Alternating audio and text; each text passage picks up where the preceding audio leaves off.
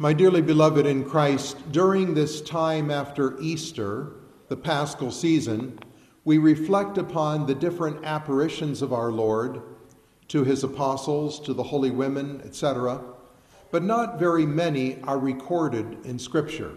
Some 11 apparitions are recording or, or just mentioned without, and some of them without even any description.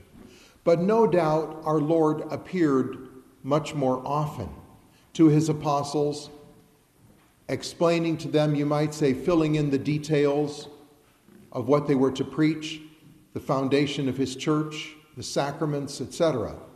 And we can just imagine their joy each time they saw our Lord after the resurrection.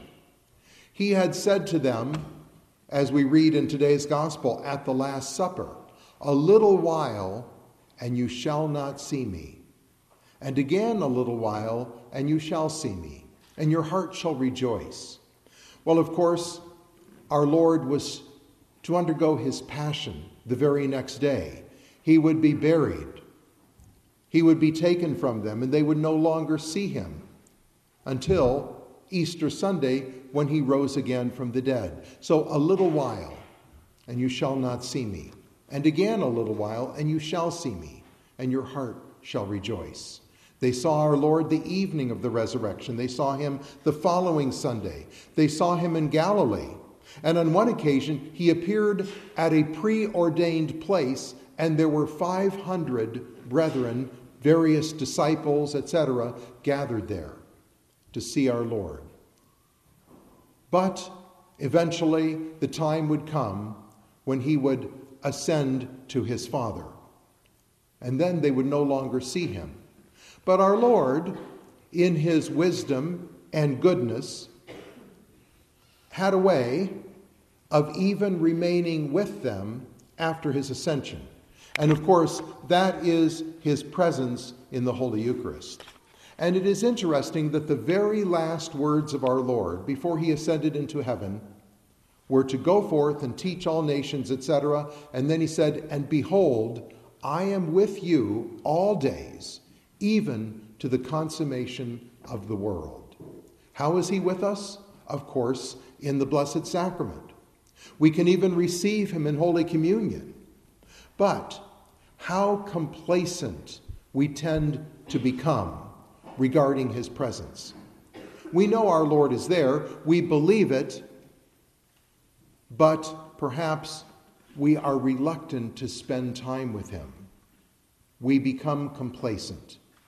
And so the wonderful 40 hours devotion is an opportunity for us to spend more time with our Lord, to express our gratitude for His presence, to reflect upon His great love for us in being in the tabernacle day and night, day after day, week after week, month after month, year after year. I am with you all days, even to the consummation of the world. What love! What love of our Lord for us to be with us, even after he ascended to his Father in heaven. Regarding the Holy Eucharist, let us be careful not to become so complacent that we are too eager to leave the church after Mass is over or fail to make an adequate thanksgiving. There's a wonderful book on the Holy Eucharist called The Blessed Eucharist by Father Mueller. There are many other books, but that is one I particularly enjoy reading. And he tells a story in there about a man who would leave as soon as he could after communion was over. And the priest noticed this after Mass. He would be in the sacristy on vesting, and he could see out the window this man leaving right away, as soon as possible. And one day he sent the altar boys. He said, Take a candle and take the bells and go out and walk along with this man and ring the bell and walk there with a candle. And you can imagine the man's embarrassment when the altar boys were doing this as he was walking away from the church. They were waiting for him when he came out the door and ringing the bell and going with him. And he said, What are you doing? And they said, Well, Father told us to honor the Blessed Sacrament which is within you, since you are not doing so.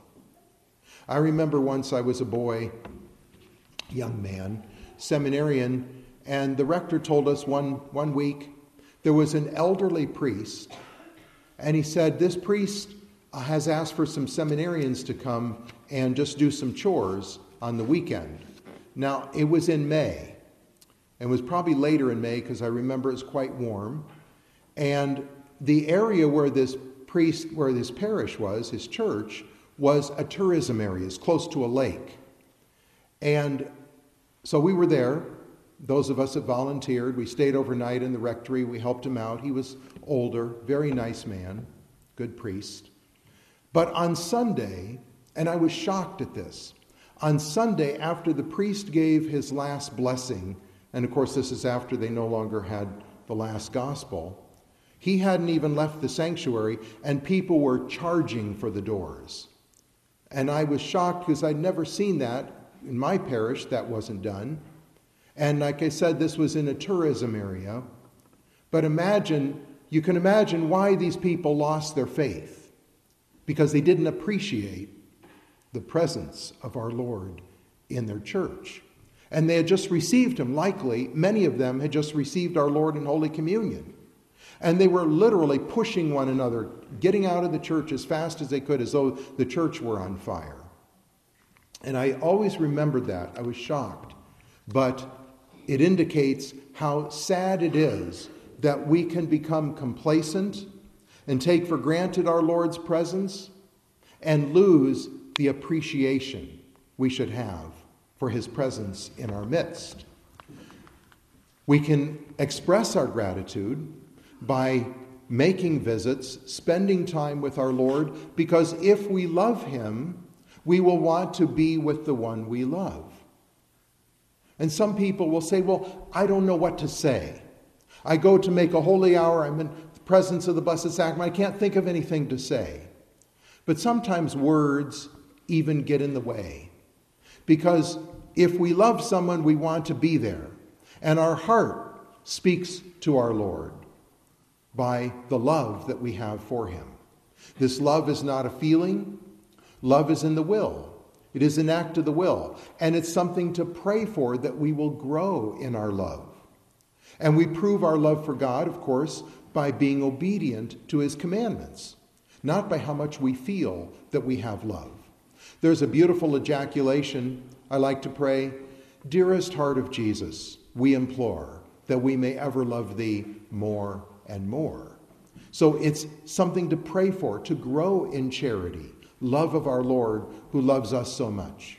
And let us reflect upon what a tremendous blessing it is to be with Jesus. You can just imagine how the apostles felt at the thought that he was going to leave them. He would be separated from him. But then how they rejoiced when he said, But then you will see me again after his resurrection and what the joy they experienced during those times when our Lord appeared after his resurrection. I'd like to read a few verses from a reading, a meditation from the Imitation of Christ on friendship with Jesus, something to reflect upon. What can the world profit thee without Jesus? To be without Jesus is a grievous hell, and to be with Jesus a sweet paradise. If Jesus be with thee, no enemy can hurt thee. Whosoever finds Jesus finds a good treasure, yea, good above all goods. And he that loses Jesus loses exceeding much, and more than if he lost the whole world. How true.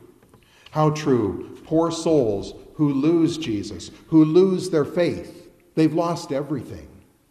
And we have our Lord here. We have the true faith. Let us appreciate him.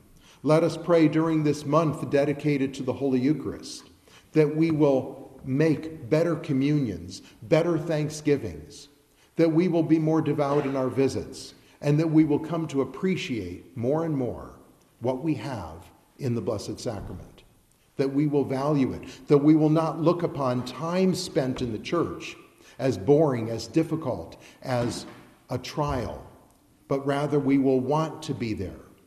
We will want to be with our Lord because we love him. May we grow in our love for our Lord. Sweetest heart of Jesus, we implore that we may ever love thee more and more. In the name of the Father, and of the Son, and of the Holy Ghost. Amen.